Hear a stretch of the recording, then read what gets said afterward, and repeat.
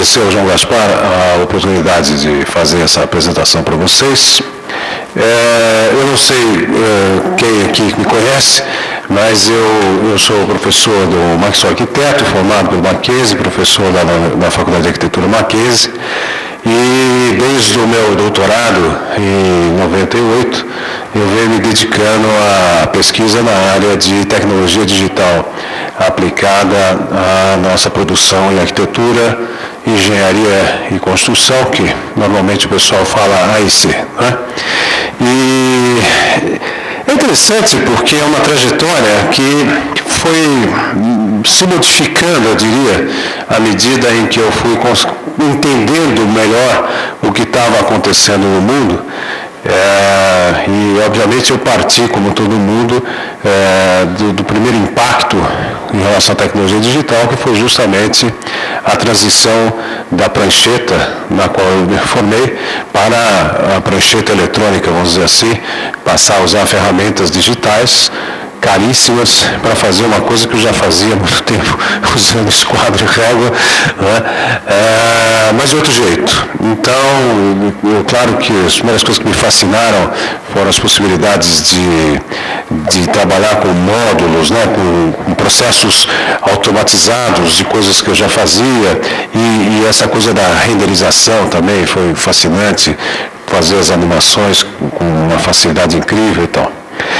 Bom, é, mas aos poucos fui me aprofundando nessa história e eu comecei a participar de alguns congressos fora do Brasil, entrar em contato com uma rede de malucos que tinha espalhado aí pelo mundo afora, parte deles hoje são meus amigos, inclusive, e, e comecei a ver coisas impressionantes. Né? Eu tive, inclusive, a oportunidade de escrever sobre isso na K-Design e posteriormente na UT, mantive uma coluna nessas revistas sucessivamente.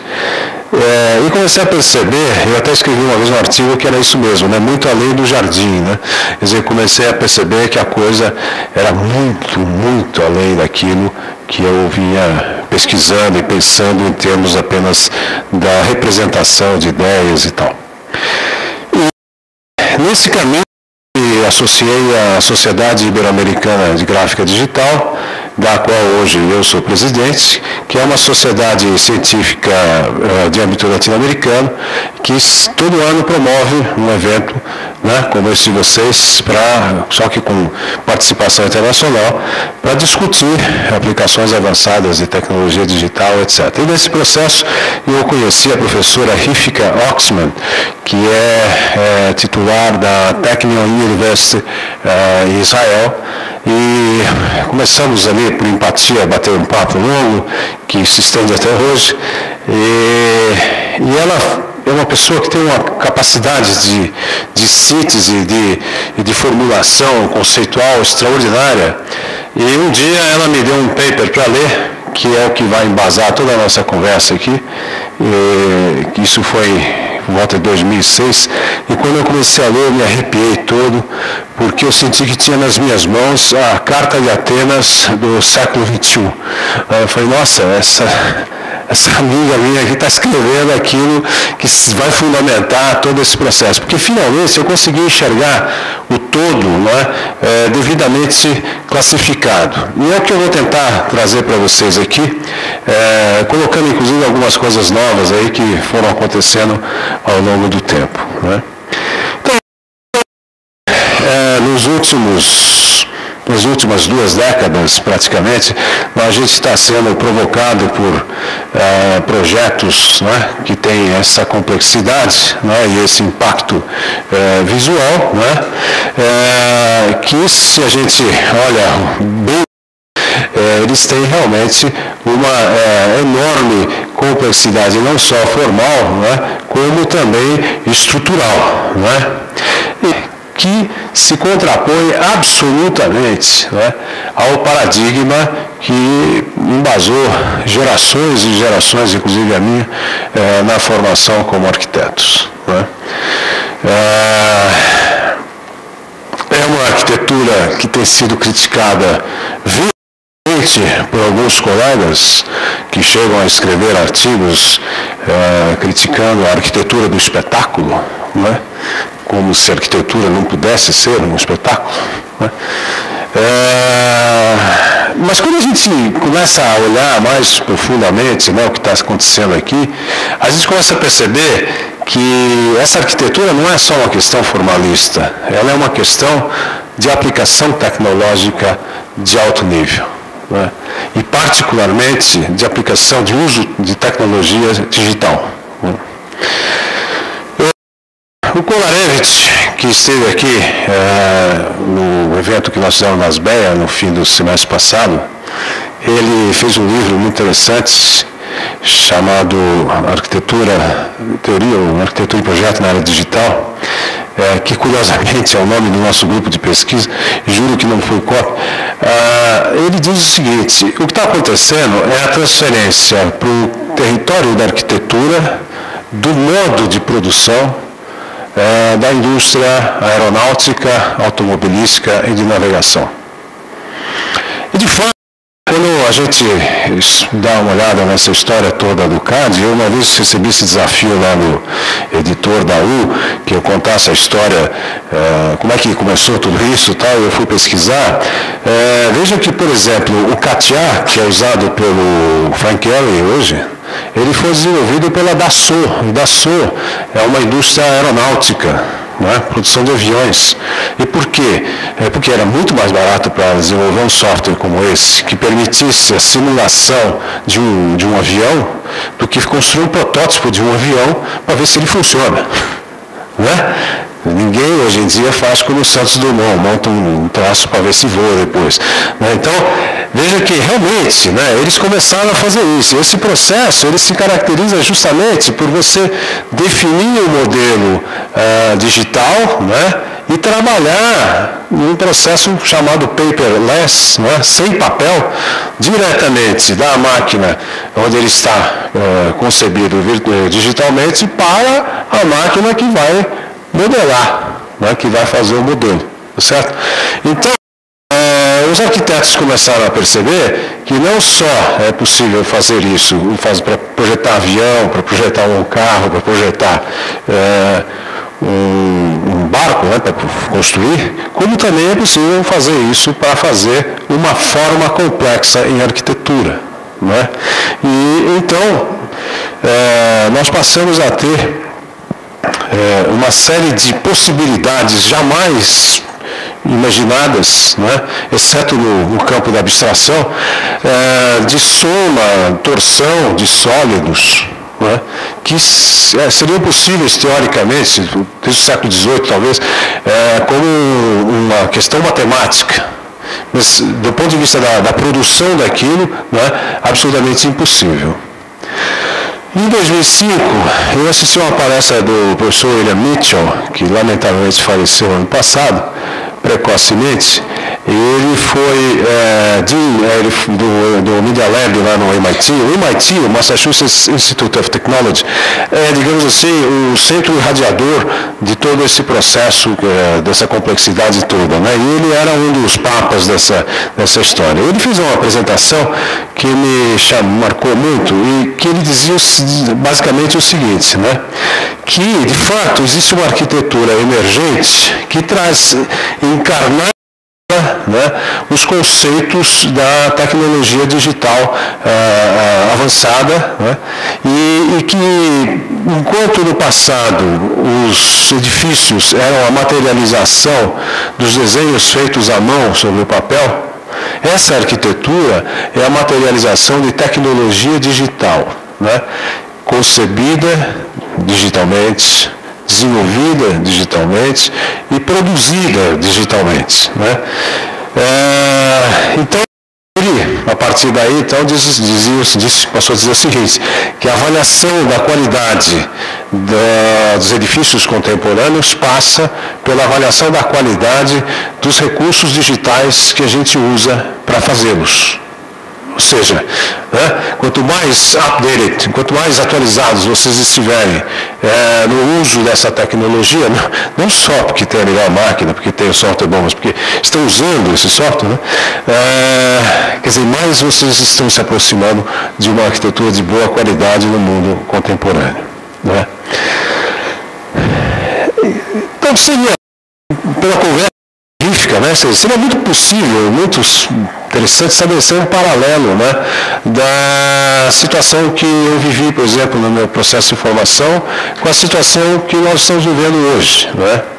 A arquitetura moderna, ela nasceu, tornou possível, né, a partir do ambiente proporcionado pela Revolução Industrial. A Revolução Industrial virou nós, nessa congresso que estive agora uh, em, Ljubljana, apareceu alguém lá que mostrou, um, um, um, vou começar a projetar isso também, a linha do tempo, né, da evolução da humanidade, a revolução industrial é uma vírgula desse tamanho. Né? Você considerar o tempo que o homem levou para descer das árvores e começar a viver em, em, em ambientes eh, estáveis, né? 10 mil anos até chegar e tal. Dizer, a revolução industrial é nada nisso, mas ela mudou né, completamente a maneira da gente pensar o mundo.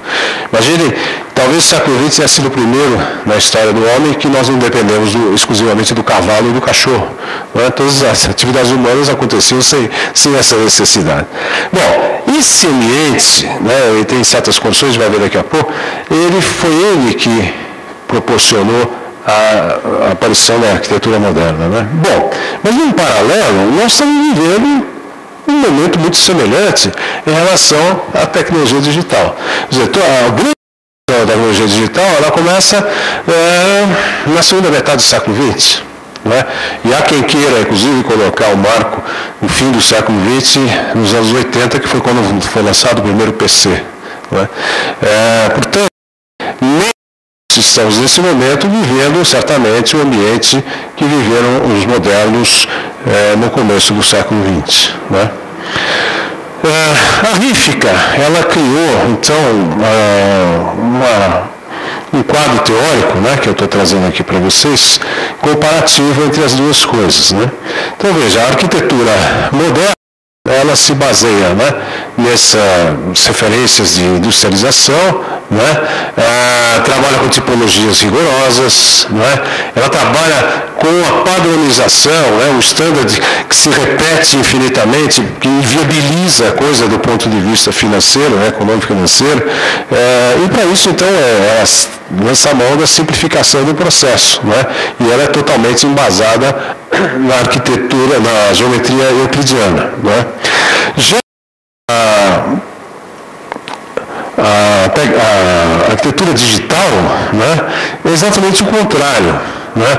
Ela, ela trabalha com a complexidade, ela busca a complexidade, né?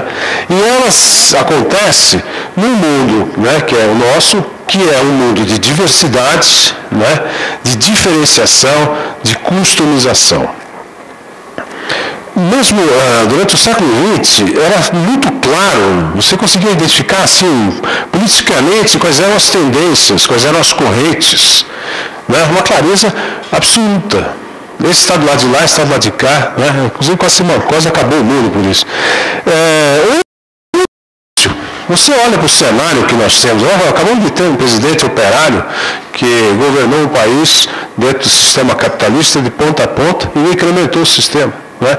É, é difícil hoje você identificar com muita clareza onde estão as grandes diferenças nos acostumamos com a customização, né, no sentido inglês da palavra customer, né, o produto feito para aquele cliente. Quantos de vocês já não fizeram compras na internet em que você monta o seu produto né? para você, como você quer. É, nós não queremos mais um produto genérico, nós queremos um produto que seja exclusivo. Né? É, nós não precisamos mais estar prisioneiros da geometria euclidiana, porque a gente tem uma máquina que faz contas complexas com rapidez, né? nos permite pensar em coisas que jamais pudemos pensar antes. Né? É, bom, a partir daí, a RIFCA construiu quatro modelos paradigmáticos. Né? Esses modelos paradigmáticos significa o seguinte, não é? é minha empregada, eu comprei um forno de micro-ondas em 1900 e qualquer coisa, e a minha empregada não tinha ideia do que era aquilo, tá certo? O paradigma dela era esquentar a comida no fogão, não é isso? Um dia eu entrei em casa, botei meu prato no, no forno, tomou dois minutos depois está saindo fumaça, não tenho a menor ideia do que aconteceu, não conseguia decodificar, né? Dois anos depois, uma outra empregada ligou desesperada, minha mulher às sete horas da noite, porque não conseguia esquentar o jantar, porque o forno de micro-ondas não estava funcionando. Né? Minha mulher falou, estava saindo fogão. Né? E aí né, ela revogou um paradigma de 10 mil anos. Há 10 mil anos que a gente associa esquentar comida com o fogo. Isso é um modelo paradigmático. Né? A RIFC identificou quatro. Né? É, o primeiro sistema CAD, é a transição, né? passar da prancheta normal para a prancheta eletrônica, fazer aquelas perspectivas maravilhosas, etc. E que nesse momento está passando por um processo de transição, que, sobre o qual nós vamos aprofundar aqui, vamos conversar mais, né? chamado BIM, Building Information Modeling, em que nós não vamos mais trabalhar apenas com representações de linhas, etc., mas com componentes. Né? Depois vamos falar sobre isso. É, certamente haverá apresentações que vão aprofundar o tema. Outro conceito interessante é o conceito que eu, na época, não conseguia traduzir muito bem, eu chamei de information, como está no texto. Hoje eu diria que é uma composição, né? É, que é quando a gente começa a pensar um projeto, a gente fazia o quê? Um croquis, né? Fazia, esboçava uma ideia, assim, né? É, alguns começaram a trabalhar com maquetes preliminares e tal, é, mas hoje a gente já pode, né? Já, já quem faça, inclusive, muito. É, você começa a modelar dentro software, você faz ali, um, sei lá, começa com um cubo e vai alterando o cubo, né, que são as tais ações topológicas que você vai mexendo nele, ou mesh lá, e você vai transformando aquilo e vai gerando uma forma a partir desse modelo que já é digital. Mas pode ser mais que isso, né? Você pode fazer ah, uma animação.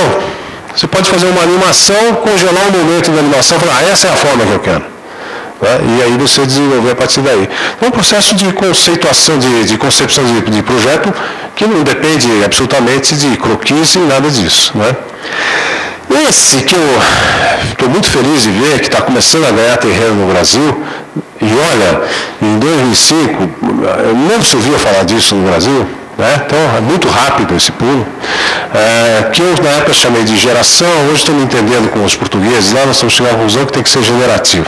Mas, enfim, é, que é o quê? Né? Você produz um modelo a partir de um algoritmo. Quer dizer, o computador é quase um parceiro. Você propõe para ele uma equação e ele te devolve uma forma. Né? É, eu lembro que lá atrás alguém um dia falou isso, um dia os seres humanos normais iam se encontrar na rua, um ia dizer para o outro uma equação, e o outro falar, mas que forma bacana. Então, não chegamos lá, mas o computador interpreta isso, é capaz de entender isso. Dentro desse modelo, existe um outro que eu vou me dedicar um pouquinho sobre ele hoje, que é a gramática da forma, né? É o Shape Grammar, que está ganhando muita força na Europa, e, e que é um, um, jeito de você estabelecer esse algoritmo, mas dentro de determinadas regras pré-estabelecidas eh, por várias, razões várias. E o outro modelo, é, é, outro modelo paradigmático, é a tal da performance, né, que é, quer dizer, desempenho, em que você chega na forma a partir de um desempenho esperado é, daquele edifício. Né? Esse desempenho pode ser um desempenho energético, uh, de iluminação, de, enfim, de resistência a ventos e tal. Eu vou passar aqui alguns exemplos do que poderia ser isso. Né? Então, o sistema CAD, evoluindo para o BIM, né?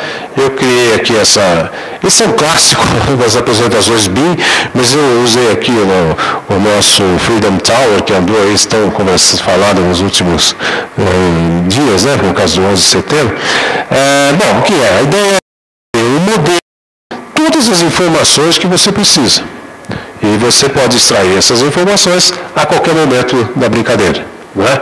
Isso é o BIM. Você pode fazer isso porque você está trabalhando com componentes. Então você pode saber quanto custa, o que você está fazendo, você pode fazer, tirar um 3D bacana, fazer uma, uma simulação né, de, de, de desempenho, você pode, inclusive, gerenciar todo o processo de construção do seu edifício a partir disso e depois do edifício construído você pode fazer o que o pessoal chama aí de management facilities, né? o facility management, uh, que é o gerenciamento do, do, do, conjunto inteiro. E claro, como todos esses componentes estão submetidos à, à realidade, eles incorporam neles mesmos as normas que a legislação prevê uh, para a construção dos edifícios. Né? Então, a ideia qual é? Você pode é, fazer uma forma básica, né? eu quero tantos pavimentos para essa forma básica, e esses pavimentos eu já posso começar a extrair a área, né? saber quanto de área eu vou ter aí para fazer o meu projeto, o que é vital, né? nos, especialmente nos empreendimentos privados, porque não adianta eu pensar muito se eu não conseguir pagar a conta. Né? E uh, inserir alterações forma e extrair visualizações as mais variadas dela a qualquer momento do meu processo e, né, as áreas a cada vez que eu mexo nesse modelo. Tá certo? Então, isso é, isso é extraordinário. Né? Para quem já tentou fazer projetos no mercado imobiliário, em algum momento da vida, sabe que você poder testar possibilidades e o tempo todo ter essa resposta na sua frente é extraordinário, porque você está ganhando tempo, vai ganhando, às vezes, até discussões inúteis que se fazem em cima de possibilidades diferentes. Bom, e isso, né? Essa documentação que a gente pode fazer uh, a qualquer momento do processo. Bom,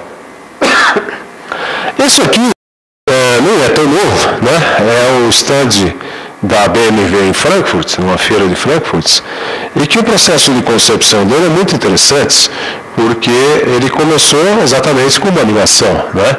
a fusão de duas gotas de água. Então, você faz a animação disso, né? tem, aqui tem os quadros, não tem animação, mas tem os quadrozinhos, né, Paulo? Ah, então é aqui que eu quero parar. Né? Então, você congela esse momento, e depois, isso foi feita uma análise de tensões é, dessa forma. Né? O que é vermelhinho aqui é, são os pontos de maior tensão, o que é azulzinho são os pontos de menor tensão.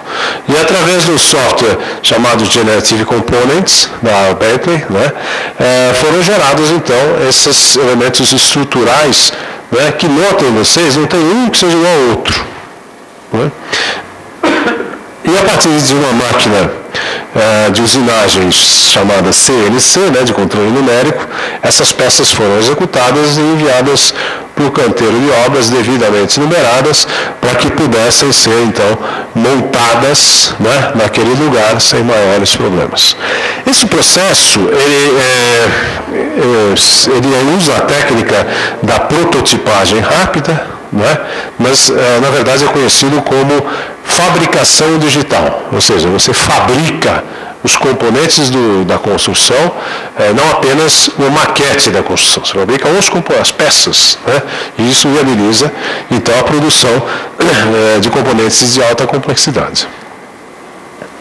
Bom, resultado bacana, né? A quem não goste. A tal da arquitetura generativa é básico. Você estabelece uma regra, essa regra se repete e essa regra, pela sua repetição, ela gera uma forma. Isso é um trabalho acadêmico que foi feito aí por um menino da Universidade de Sydney, é, que a ideia de você construir um, um mercado de peixe lá, enfim, era uma cobertura, né? Então ele traçou essas linhas ligando determinados pontos da cidade que ele queria unir, é, fez uma, um, uma linhazinha aqui, deu um array por ela, né? ela se espalhou, se propagou inteira, e a partir daí ele fez um estudo uh, de cada linha, linhas dessa, se, obrigado, se transformou num componente né? de uma estrutura que ele então Uh, fez uma renderização tal, etc. Não foi construído. Mas esse vai ser, está sendo, né? Esse aqui está sendo construído. É o Bishopgate é, em Londres, que tem essas variações formais e mais, né? Ele atende a umas questões de desempenho também, né? Ele precisa, por exemplo, de 200 metros quadrados de painéis solares fotovoltaicos para gerar 200 kW de eletricidade para, uh, que é usada pelo próprio edifício, para diminuir o consumo de energia da, da rede pública. Né? Uh, tem que ter o mesmo tamanho, mas não necessariamente a mesma forma. E é a partir daí, então, que através do modelo generativo você consegue fazer com que essa maluquice toda é, responda né, a essa é, solicitação de desempenho. Né? E olha, aqui foi usado o Generative Components também da Bentley. Não trabalho na Bentley. É, esse vocês viram as Olimpíadas, né? É, esse edifício ele tem também questões aí de desempenho é, bastante importantes. Né? Ele abrange uma área de 90 mil metros quadrados, tem cinco piscinas, né? É, capacidade para 17 mil espectadores. E para ele ter essa aparência diferente, foi usado um, um produto aí chamado copolímero etileno tetralona, são 100 mil metros quadrados de uma, de uma película que tem 1% né, da espessura do que seria se fosse em vidro. Né? Se fosse usado uma, uma, um material vidro, existiria um, um problema de, de, sobrepeso muito grande aí. Não é? Bom, 90% da energia solar que atravessa o edifício fica retido na estrutura e serve para aquecer as piscinas. Ah, interessante que o sistema estrutural dele né, se baseou na ah, bolha de água no estado de agregação de espuma. Quer dizer, as, os, o sistema estrutural dele não é uma modulação que vai se repetindo a cada. Não, são cada célula dessa é diferente da outra. Né? E, naturalmente, para você fazer tudo isso, é, você preciso, foi preciso utilizar a fabricação digital para cortar todas essas peças né, e depois permitir esse encaixe.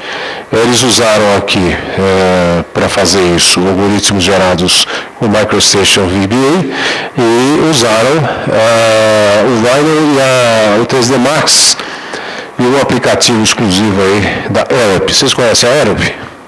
A Aerope é um é um escritório de arquitetura, na verdade, que virou um IPT eh, europeu, né, que ajuda o Foster em todas essas loucuras. Muito bom. Uh, tem um caso da arquitetura generativa, que é a chamada gramática da forma, que particularmente tem me interessado muito, que é quando esta uh, a lógica, né, a sequência do algoritmo responde a uma condição pré-existente. Não é um simples capricho da minha parte, mas eu preciso atender alguma coisa. Eu alguma coisinha ali, né, né? Consumir energia, a estrutura e tal. Né? É, então, é feito preliminarmente um estudo né, de qual é a gramática, qual é a linguagem que está por trás daquilo para que depois você então construa o algoritmo né, e com outras strings todas que, vão alimentar o computador. Né. Hoje em dia é mais fácil fazer com Grasshopper, mais ou menos, né? porque tem horas que você cria uma trança de, de relações que fica um pouco difícil de ler. Mas enfim, é, exemplo né? Esse foi trazido pelo Kobayashi, para quem esteve no nosso evento, foi o primeiro trabalho dele, um trabalho de dissertação dele, né, de mestrado, em que de loteamentos, quer dizer, você determinado, variando determinadas coisas, você altera completamente a maneira como se utiliza o solo, né, como se distribui isso pelo solo. Aqui, uma coisa um pouco mais recente, que eu trouxe para a gente ver, que é é uma tentativa né, de você gerar é, a malha urbana né, de, de, várias maneiras, você poder alterar isso com uma certa flexibilidade. Então, aqui você tem, bom, como é que se ajustam os lotes? Né? A relação pode ser por aqui, pode ser por aqui. Isso vai estabelecendo, então, uma lógica, né, e essa lógica, então, permite depois você gerar inúmeros é, é, lotes, né, justapostos, que, que é o loteamento, a partir de, da regra que você pré-estabeleceu. É? Quem tiver interesse nisso e aprofundar, aconteceu agora em Lisboa, em 9 a 10 de setembro, esse evento uh, chamado Simpósio, Simpósio Digital Fabrication State of Arts, uh, que tem trabalhos aqui muito interessantes. Está né? Tá nesse link aqui. Uh, tem lá todo o material, PDF, tudo. realmente um trabalho muito bacana. Né? Que a nossa Gabriela Celano esteve presente também. Esse trabalho eu trouxe aqui porque esse trabalho mexeu comigo e, e a partir dele eu estou agora começando um outro trabalho. Esse trabalho foi feito pelo José Duarte, que esteve também aqui no nosso evento. É, ele analisou a ocupação da Medina de Marrakech. Medina é a área central das cidades muçulmanas. E ele estudou como é que esses é, aglomerados né, se formam. E ele descobriu que as regras de ocupação do território são definidas pelas leis do Corão. E, portanto, há uma gramática, há uma lógica por trás disso.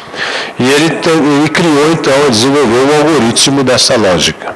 E com isso, ele desenvolveu, um, vamos chamar de plugin, enfim, um jeito você estudar, por exemplo, como essa área poderia se expandir no futuro seguindo a tradição cultural deles. Recriar esta área né, em outro lugar, uh, seguindo a mesma orientação cultural. Eu quando vi isso, falei, meu Deus do céu, né? Resolvemos esse problema das favelas no Brasil. Porque uh, até hoje, e agora, com a eficácia extraordinária, nós seguimos ah, reproduzindo erros do passado. A solução que nós temos aqui para esses conjuntos né, é, é isso. É? A gente passa um trator em cima daquilo que está lá né, e, e constrói um standard um ao lado do outro né? sem uma hierarquia urbana, sem um, um, uma costura com o tecido urbano pré-existente, sem nada disso. Né? Ah, às vezes uma cara melhorzinha, né? mas sempre seguindo a repetição desses padrões. Ah, e nós temos situações como essas, né? Olha só. É, como é que a gente costura né, isto aqui com isso aqui? Né? Isso parece mais o muro de Berlim, né? Como é que nós vamos resolver isto, né? É, deixa eu voltar aqui. Né, através de muitas discussões e tal, um esforço enorme ah, de muita gente, nós acabamos chegando num edital aqui da FINEP, que é uma instituição de fomento de pesquisa no Brasil, e que convidou uh, algumas universidades para se postularem, desde que tivesse apoio uh, da iniciativa privada. E nós acabamos formando uma rede, são sete universidades, o Marquês, a USP, a Unicamp, em São Paulo, e as federais do Rio Grande do Sul, Paraná, Bahia e Ceará, para estudar é, o uso avançado de tecnologia digital em arquitetura, com foco no Minha Casa Minha Vida. Então, nas nossas reuniões e tal, além do BIM, que é uma coisa importante, que inclusive já começou a produzir alguns frutos, é, estudar a aplicação é, de arquitetura generativa, fabricação digital e prototipagem rápida para estudar esses problemas como fazer isso. Né? E dia 20 agora, de, de 21 de outubro, nós vamos fazer a primeira reunião desse grupo e nós já começamos lá no Marquês a construir é, uma caverna digital, que a ideia é como a gente vai discutir pessoas os processos todos, né? nós queremos criar um ambiente de imersão em que a gente possa mostrar as possibilidades que nós estamos gerando. Então, nós vamos começar a construir uma caverna digital, vamos comprar lá uma máquina CNC para fazer os cortes de uma série de coisas e tal, e vamos começar a fazer o processo que certamente vai ser um big desafio, né? mas assim a vida e assim nós vamos. Né? Então, coisa bacana, porque de repente no Brasil a gente começa a ter possibilidades concretas de fazer as coisas. Né? Bom, isso é desempenho é difícil concebido a partir do desempenho esperado. Esse é London City Hall, né, prefeitura deles lá. É, ele tem essa forma estranha, né? Que ninguém consegue dizer muito bem se é uma bola achatada, o que, que é, mas tem uma razão de ser. Né? Essa calota aqui, ela está voltada para o lado norte, que na Europa, ao contrário daqui, não tem sol. Então, ela foi feita de vidro dessa forma para poder captar a maior luminosidade possível né, durante o dia, sem se incomodar com o sol. E desse lado, desse lado os andares vão se sobrepondo, tá vendo? Eles vão fazendo como que brises uns sobre os outros. Né? E os bancos da estrutura são ocos, são tubos por onde circula a água quente ou fria, dependendo da estação do ano, se eles querem aquecer ou esfriar o edifício, que vem lá do lençol freático que eles têm lá embaixo. E agora, quando o Colarelli veio aqui, ele esclareceu uma coisa que eu não sabia e fiquei sabendo agora. Esta forma né, ela foi definida justamente, e eu percebi agora isso no hashtag, a mesma coisa, uh, justamente porque ela é o jeito mais eficaz de você pegar os ruídos que vêm do hall e levar lá para cima, porque como é edifício público, eles queriam garantir né, que as pessoas que trabalham aí eh, estivessem o tempo todo escutando a população lá embaixo. Que, isso acontece também no hashtag, é interessante, esse é o conceito, acho que o Foster levou para lá, é, para outro. Ah, então, né? Quer dizer, eu, eu, eu, não tenho aqui o gráfico, ele mostrou lá, eu vou ver se consigo com ele depois, o gráfico de, do estudo que foi feito de, de dispersão da, das ondas sonoras e como elas se canalizam aí. Né? Bom, ficou bacana, né? E uma coisa que eu acho bacana nos europeus é isso aqui, ó, né? Como eles não têm medo de colocar uma forma dessa do lado da tradição. Né? Eu estava olhando o hashtag e ficar pensando, se fosse fazer isso aqui, já ia aparecer um cão raivoso do Departamento de Patrimônio Histórico e não deixar ninguém fazer mais nada, congelar, o rastro do jeito que foi e tal, porque a história precisa ser preservada. Eles não têm medo na Europa, né? olha que bacana, eles conseguem realmente a, se atualizar tecnologicamente sem perder a memória do passado né? e sem ter medo de ser feliz. É incrível. É, isso é um trabalho é, mais de nível urbano, é uma situação na cidade de Stuttgart, que se construiu um novo é, centro ferroviário e essa área, obviamente, ela se tornou um foco de planos imobiliários e Stuttgart fica num vale que ela tem dificuldade de dispersão da poluição, etc. Então, eles fizeram um modelo da, daquela região, tentando estabelecer o gabarito dos edifícios que eventualmente se instalariam ali, é, para não comprometer esse processo de dispersão dos poluentes. E aí fizeram o teste usando recursos digitais. Bom, é, primeira consideração. Eu, eu tive essa discussão nas BEA há quatro anos atrás. Se eu vou falar umas coisas aqui que o Contier vai acompanhar comigo.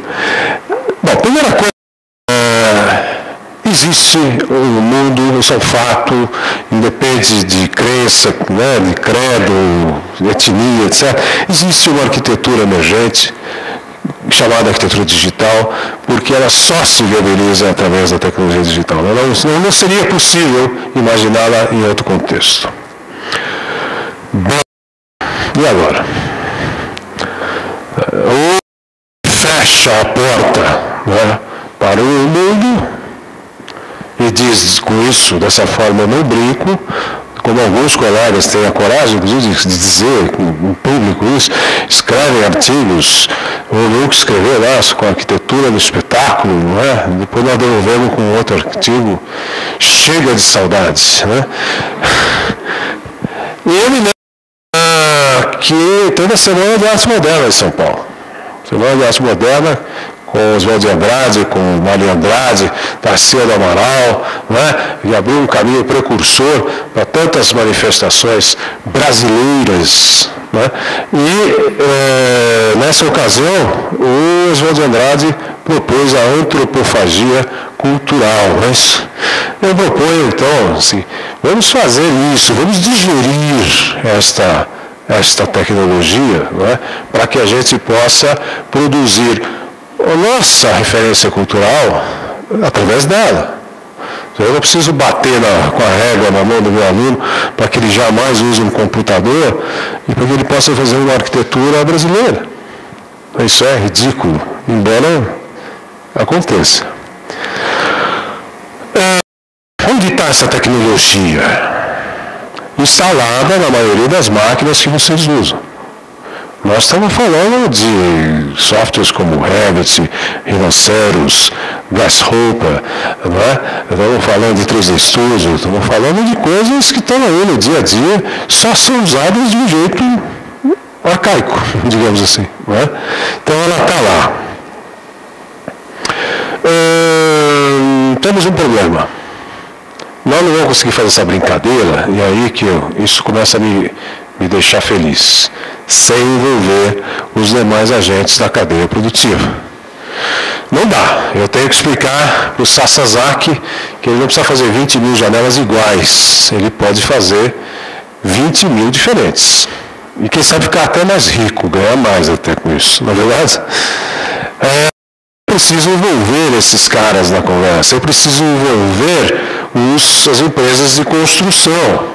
Eu preciso convencer né, as empresas, as incorporadoras, as incorporadoras, que elas têm que participar da brincadeira. Né? Ah, hum. Nós precisamos, portanto, criar uma sinergia. Né? E eu disse isso em 2007, e eu posso dizer a vocês que hoje existe um grupo, que a gente chama de Grupão BIM, que por conta do BIM né, tem se reunido e que tem todos esses agentes lá. Né? A ASBEA participa, a BCIP, a BES, são todas associações de engenheiros de cálculo, engenheiros, o pessoal de instalações, participam o Sinduscom, né? participam algumas incorporadoras. Eu acho que até vou dizer nome, porque vale a pena, são pioneiras, né, de certa forma, Gafisa, Cirela, e compartilham informações, é mais incrível. É, e alguns é, fornecedores hoje estão muito interessados em participar da brincadeira. Né? É, a gente está seguindo, já faz uns dois anos, já fizemos uma série de coisas aí, fizemos nova BIM, fizemos um monte de coisa, continuamos fazendo. Né? Vai ter, inclusive, um seminário agora, dia 20 de, de outubro, lá no Sinduscom, mais um passo para o BIM, etc. É, bom, é, nós temos um problema com esses caras aqui, né? ou nós tínhamos, porque é, infelizmente, o relacionamento que nós tínhamos com os desenvolvedores de software no Brasil era periférico. é? Então, a gente falava com o vendedor de software, a gente não tinha a possibilidade de falar diretamente com os próprios desenvolvedores, com os, as pessoas que trabalham no, na, na, lógica do sistema. Isso mudou, e mudou muito. É? A própria Autodesk tem hoje pessoas no Brasil com essa preocupação de trabalhar a questão é, do software, não a questão é, de venda do software. E eu estive nesse, nesse congresso agora, semana passada, eu fiquei chocado porque na abertura do Congresso foi feita pelo ministro da, do Desenvolvimento, qualquer coisa lá, da, da Eslovênia, que é parte de um comitê europeu, tarará, que está avaliando a questão da crise que a, que a Europa está passando. E, e uma das coisas que ele deixou absolutamente clara logo no início é que a solução deles somos nós. Ele falou dos BRICS, e nós passamos a ser tratados o resto do evento como queridinhos da festa. Depois que eu contei para eles que nós vamos construir aqui 2 milhões de moradia, não é isso? E que a FINEP tinha dado 1 milhão e 600 mil dólares para essas universidades desenvolverem um trabalho, aí então os caras, nossa, convidaram para tudo que tinha de bacana lá. Interessante. Interessante. Não sei como é que vai acabar a história, depois te conta um para o outro, mas. Bom, ah, e sentido que está acontecendo, né, que é isso aqui. Ah, o Brasil nunca teve tradição, pelo menos na nossa área, talvez em outras tenha, como tem as universidades americanas, de andar junto com o mercado. É mentira dizer que não tem dinheiro para pesquisa no Brasil. Tem muito dinheiro para pesquisa no Brasil, só que tem gente profundamente o papel do Neutra no movimento moderno. Né? E isso deve ter interesse para alguém, mas é, certamente não reflete nas ações e objetivos do mercado. E esse projeto FINEP começou a mostrar exatamente o contrário, quer dizer, o próprio governo está estimulando a parceria entre a iniciativa privada e as universidades, com grana. Eu falei para vocês, né? 1 milhão e 500 mil dólares. Dá 2 milhões e 500 mil reais, mais ou menos. Né? Para fazer pesquisa. Para quê? Para que o mercado use objetivamente. Não é uma coisa só para eu escrever um artigo e mandar para. Não, tem que funcionar. Tem que ser possível de ser usado. Então, isso começou a acontecer, é um grande momento né? E eu acho que a gente deve trabalhar duro para que isso vá adiante. Né? Bom, e aqui eu falo então do estabelecimento de uma nova relação com os desenvolvedores de aplicativos que eles mesmos estão fazendo. Eles começaram a fazer. Né? Lá no Mackenzie, a gente é pressionado diariamente aí por vários fornecedores, uh, os tradicionais e outros, para a gente instalar coisa, para a gente estimular lá a discussão com os nossos alunos esse é o recado que eu queria dar para vocês, assim, dando um panorama, talvez um plano de fundo aí para outras discussões. Aqui estão aí as referências que eu acho que vale a pena serem consultadas. Né? É, enfim, fico à disposição de vocês para eventuais dúvidas. Aí. É isso aí. Muito obrigado.